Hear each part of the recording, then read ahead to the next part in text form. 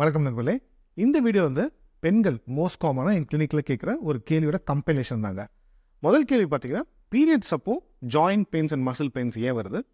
ரெண்டாவது அந்த பெயினை நம்ம எப்படி அடாப்ட் பண்ணிக்கலாம் எப்படி அதை ஹேண்டில் பண்ணும் மூன்றாவது ஆஸ்டியோபோரோசிஸ் பெண்களுக்கு ஏன் அதிகமாக வருது? அண்ட் நாலாவது நான் வீட்டிலேயே வேலை பார்க்குறேன் சமையலுக்கு நடக்கிறேன் இதெல்லாமே எக்ஸசைஸில் கவுண்ட் ஆகுமா? ஸோ இந்த நாலு கேள்வியோட பதில் தான் இந்த வீடியோவில் இருக்குது this is doctor Sriram Krishnamurthy consultant orthopaedic surgeon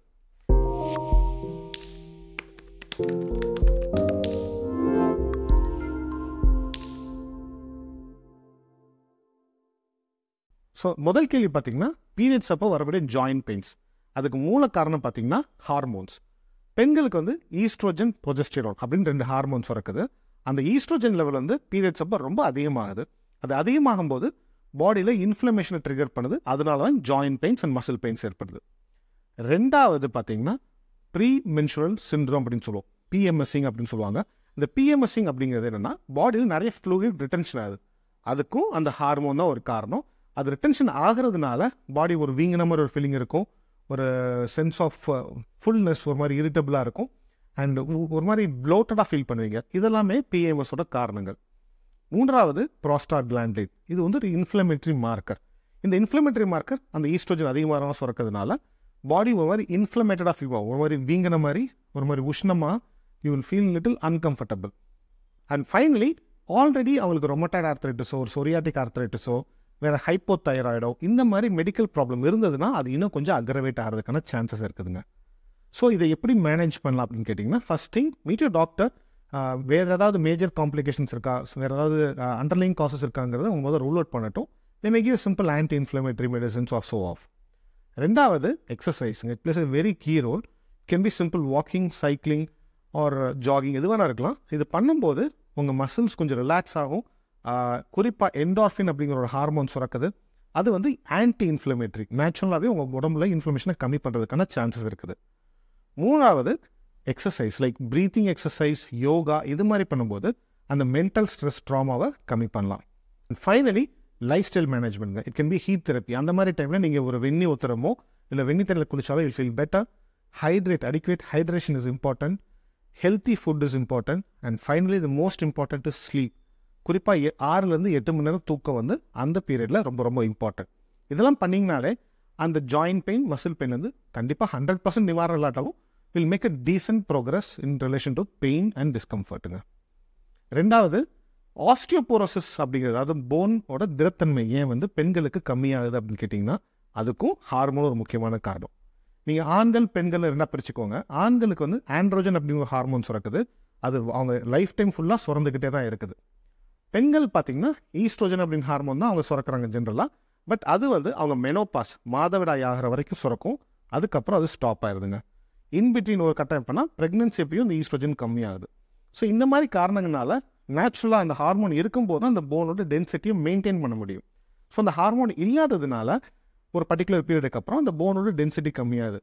நீங்கள் அதை எப்படி ஈக்குவேட் பண்ணலாம்னா ஒரு பேங்க் மாதிரி வச்சுக்கோங்க. நீங்கள் நீங்கள் ஸ்டோர் பண்ணிட்டே இருக்கீங்க. அந்த நாற்பது வயசு வரைக்கும் உங்கள் போனோட டென்சிட்டிக்கு இந்த ஹார்மோன் நீங்கள் சாப்பிட்ற ஃபுட்லாம் ஸ்டோர் பண்ணிட்டே இருக்கீங்க. அந்த மெனோபாஸுக்கு அப்புறம் அந்த டென்சிட்டி கம்மியாகிட்டே வரதுக்கப்புறம் எக்ஸ்பென்சஸ் மட்டும்தான். நமக்கு இன்கமே இல்லாத மாதிரி ஒரு சினாரியோ கிரியேட் ஆகுது.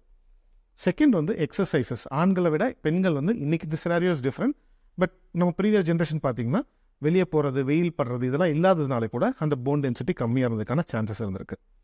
ஸோ இதை எப்படி டெஸ்ட் பண்ணும் அப்படின்னு கேட்டிங்கன்னா இந்த டெஸ்ட் கால் டெக்ஸா ஸ்கேன் அதாவது டியூஎல் எமிஷன் எக்ஸ்ரே அப்சார்மெட்ரின்னு சொல்லுவோம்.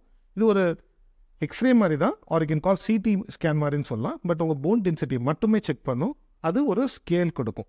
அந்த மூணு கேட்டகரியாக பிரிச்சிருப்பாங்க. உங்களோட போன் டென்சிட்டி எந்த கேட்டகரியில் வருதுன்னு வச்சுட்டு இப்போ டாக்டர் மேட் ட்ரீட்டட் அது மைனஸ் டூ பாயிண்ட் ஃபைவ் கீழே அதாவது ரெட் ஜோன் வந்ததுன்னா we call it is osteoporosis ஒரு லெவல் மேலே இட்ஸ் ஆஸ்டியோபீனியா அதுக்கு மேலே இட்ஸ் நார்மல் ஸோ இந்த ஆஸ்டியோபீனியாவில் இருக்கிற வரைக்கும் it's okay exercises simple supplements எல்லாம் ஹெல்ப் பண்ணலாம்.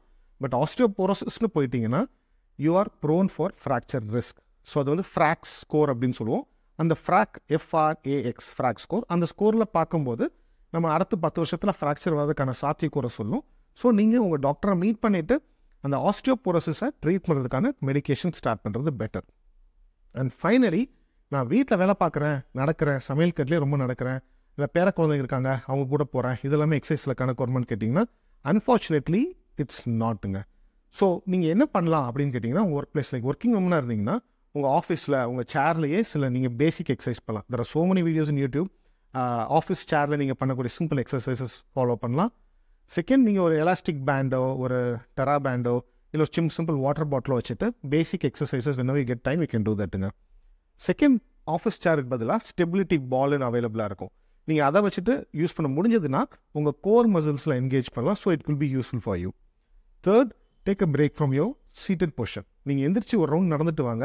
ஸோ அது மாதிரி if you take multiple breaks and walk multiple times you will easily reach three K to four K steps in a particular day and finally staircase which is least least what we take usually நம்ம எந்த இடத்துக்கு போனாலும் லிஃப்ட்டை use பண்ண ஆரம்பிச்சிடும் go more use to it so எங்கெல்லாம் staircase opportunity இருக்குதோ நீங்கள் யூஸ் பண்ணீங்கன்னா it is also a part of your exercise so நீங்கள் ஒரு எக்ஸசைஸ்னு ஒரு நாளைக்கு இருபது நிமிஷம் பண்ணால் கூட யாரை சுத்தமாக பண்ணவே முடியலன்னா இந்த மாதிரி உங்கள் ஒர்க் பிளேஸ்லேயே நீங்கள் அதை எப்படி இன்கார்பரேட் பண்ணணும்னு பாருங்கள் so that will be more useful and more engaging for your bone density so இந்த மாதிரி சிம்பிள் ட்ரிக்ஸ் அண்ட் ஹேக்ஸ் நீங்கள் ஃபாலோ பண்ணிங்கன்னா உங்களோட போன் டென்சிட்டி இம்ப்ரூவ் பண்ண முடியும் because we all respect women we want them to be healthy and health thank you